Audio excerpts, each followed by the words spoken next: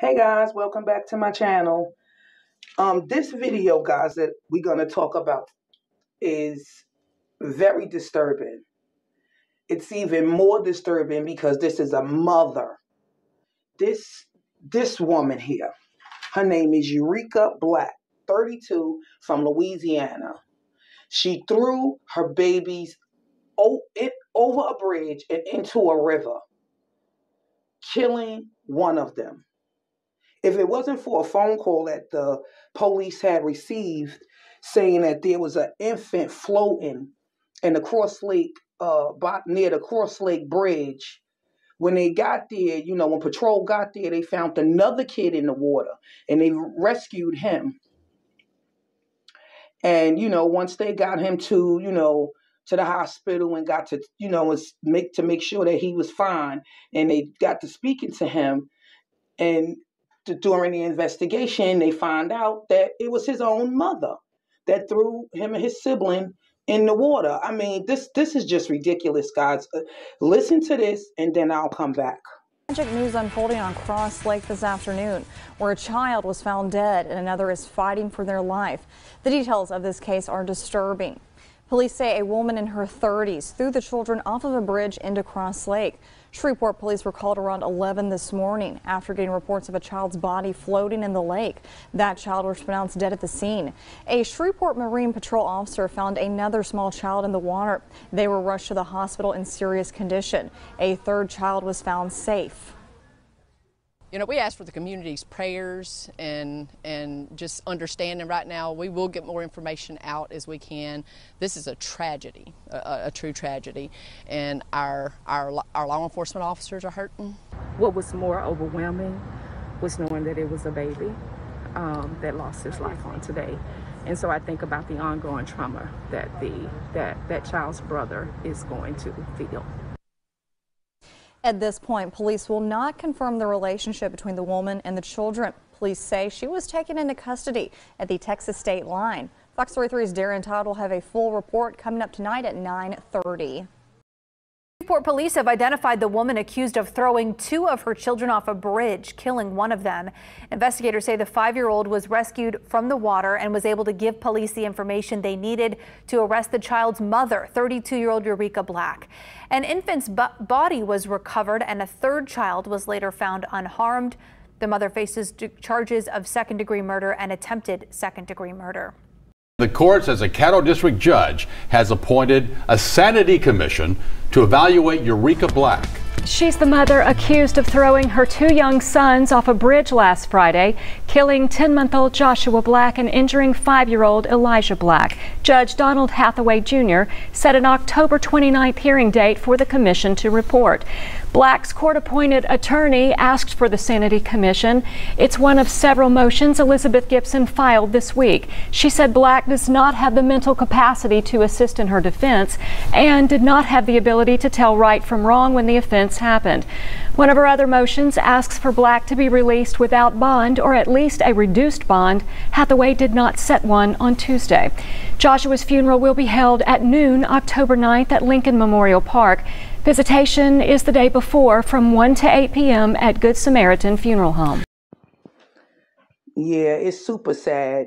And, you know, now the judge has ordered a sanity commission hearing for her because her lawyer is now trying to say that, you know, she's not mentally stable and all of this. Girl, bye. I'm not I'm not buying what you're selling. I'm not falling for the banana in the tailpipe. She was saying enough. She knew exactly what she was doing.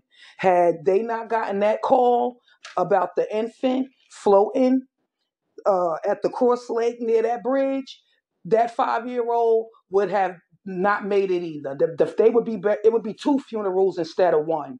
So I'm not buying what what this mother's trying to sell. And I, um, what they say, she goes to court on October 9th.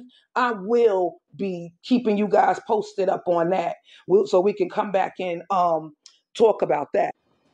Yeah, because I don't think that she should be given any any opportunity to be able to uh be, you know, go to some type of mental hospital or anything like that. She should be sent to prison for the rest of her life for what she did. She should never ever be able to be given the opportunity to see daylight, to be outside around, you know, to have a life again. And like I just it's just this is mind-boggling when I see stuff like this. I just don't get it you know? And i'm gonna try to see if i can look and see what's going on with the father. Who is the dad? You know? I mean i know sometimes you know maybe as a single parent you know i get it. Sometimes we get overwhelmed. You know we may get overwhelmed and things like that. But what she did no. Mm-mm. i'm sorry. I can't. I can't. I cannot buy into anything like that. Not a mother that does anything like that. She knew what she was doing. She knew what she was doing. And so with that being said oh um the the one of the good things though you guys that did happen is one of you know the son he had a birthday and the police and the community all came together and did like a drive through birthday for him. So take a look at this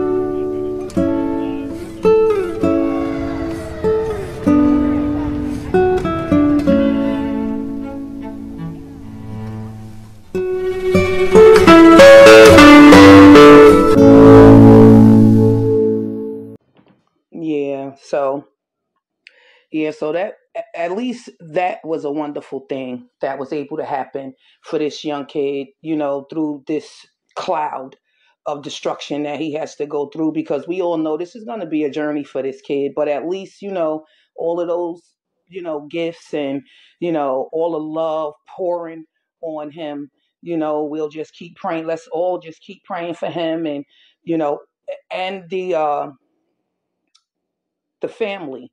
You know, let's pray for the family too, because it's gonna. this is gonna be rough. But I will be keeping you guys posted. I will be coming back with an update on this story. Let's continue to pray for this this kid, you know, this family. And thank you guys for listening. Thank you guys for watching.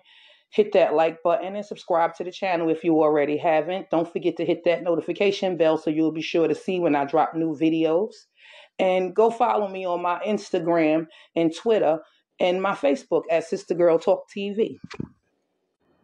And a sidebar, I will be adding the links to the articles in my description box in case you guys want to go over there and read the full articles and watch the full videos.